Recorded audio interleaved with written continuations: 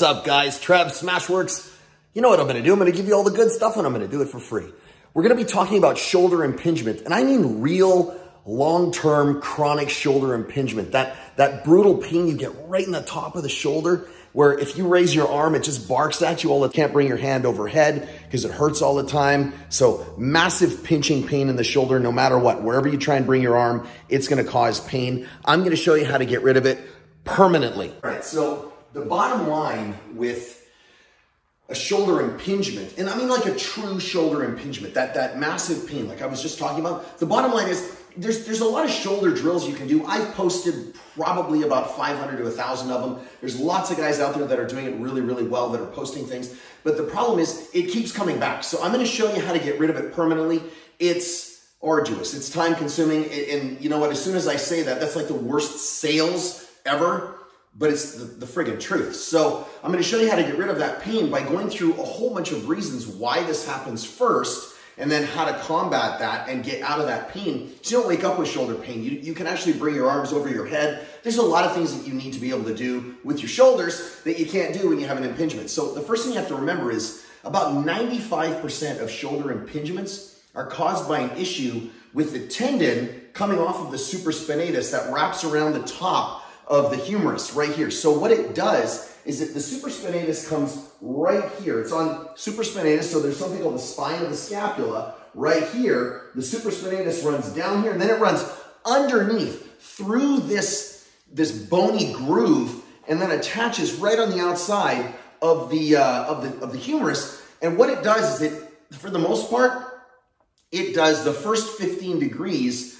of abduction. So abduction is away, adduction is towards the body. So it does about the first 15 degrees of abduction, and then the rest of the mechanics take over on the way up. Now, if you have an issue with this, you're gonna have a shoulder impingement issue 99% of the time. So we wanna take the pressure off that tendon that comes underneath uh, that bony prominence here, but we wanna take it off from the pressure on the bottom and the pressure on the top. The, the tendon gets compressed this way. It gets compressed by the humerus itself, pushing up into the tendon and it gets compressed by the uh, acromion and the clavicle on the top on the top of the tendon. So we want to get rid of all that. We want to get rid of that sandwich that's happening between two bones. The tendon's going to fray and get demolished. It doesn't matter what you do. So we want to, outside of just creating space, we want to fix the mechanics because the shoulders tend to do this.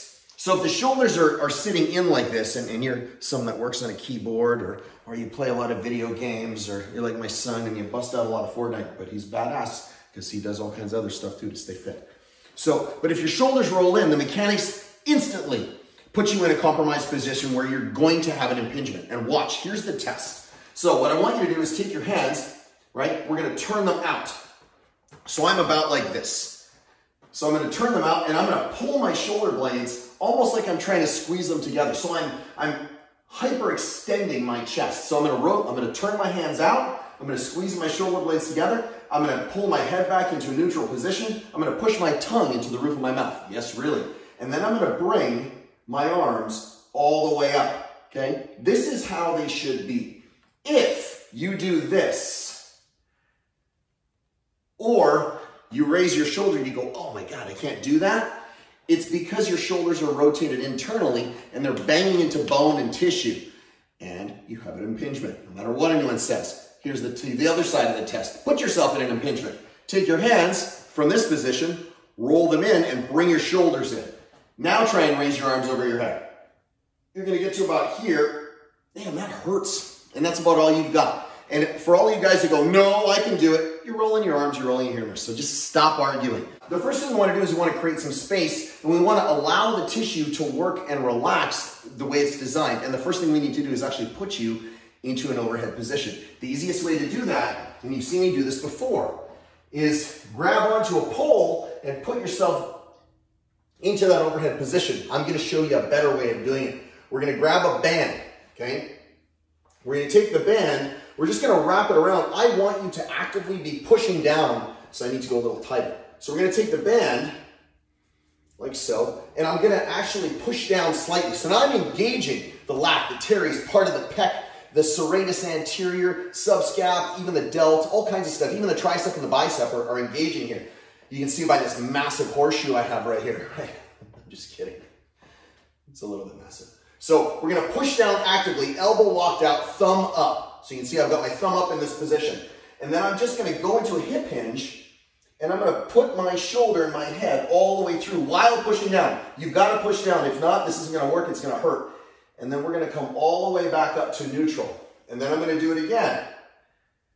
And then we're gonna come all the way back up to neutral. It should only take about two to three seconds to go through the entire repetition while pushing down. That's number one. You gotta do that. Now, number two is we're gonna work on external rotation to get those shoulders to open up, but I've got two really killer ways to do that. First one's with a band. Yep, you need to buy some bands. So you're gonna take your hand, you're gonna put it through the band. So I'm gonna wrap it up just a little bit, just like this. This is a really, really light band. You don't need anything really, really crazy. You just need a little bit of resistance. So external rotation is this. So we're gonna go from this position.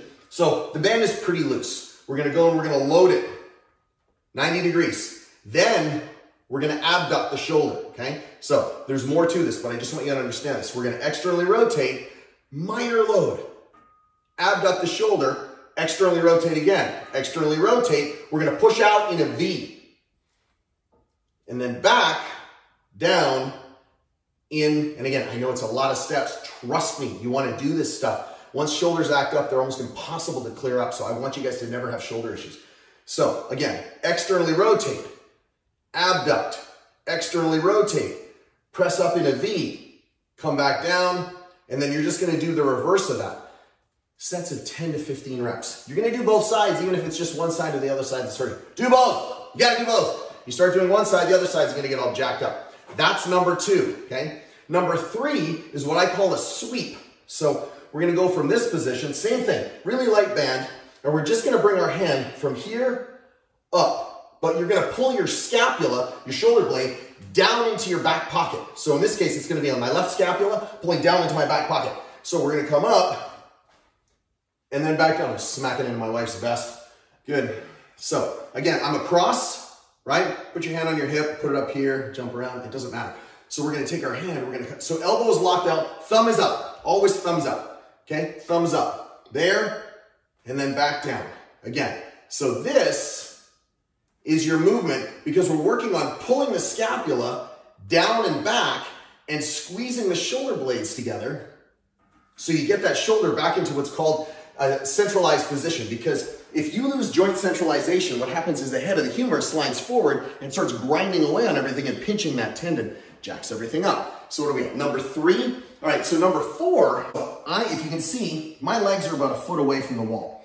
I'm gonna be up and tall. I want my butt, my shoulder blades, and my head like this. I don't want it like this. And then I'm gonna take my hands and I'm gonna put them up against the wall. I'm doing this from a different angle because you guys look at it from the front and, and I don't think you understand what I'm doing. So I'm gonna keep my entire arm against the wall the entire time. I'm gonna bring it up and then I'm gonna come back down as far as I can, trying to bring my elbows down into my side and then up and then back down, up, and then back down. You're gonna do three sets of 12 to 15. This is gonna make your shoulders on fire. I promise you it's gonna change your game though. So that's number four. Number five, we're gonna take this. This is a very light band. I want you guys to take a look at this band. Here's the band, here's the size of my finger. See what I mean? Really light. We're gonna take the band, I'm gonna be slightly wider than shoulder. This is the movement we're gonna do. Okay? This is the movement we're doing. What I want you to do is you're gonna go fast. You're gonna fast out, and then you're gonna come all the way back in. Fast out, and then all the way back in. Fast out, parallel to the floor. I don't want you doing that banded three-way that I do for training. This is just to work on tendons, okay? okay? That's number five. Do these things, I, I promise you. They seem complicated, they seem arduous, they seem like it's a lot of work. Shoulder surgery is a lot of work. It's a pain in the butt if you can avoid it. If it's unavoidable, go get it done. But other than that, you do these five things, I promise you, three times a week for the rest of your life, you will get rid of your shoulder impingement and it'll never come back again. I, I promise you that.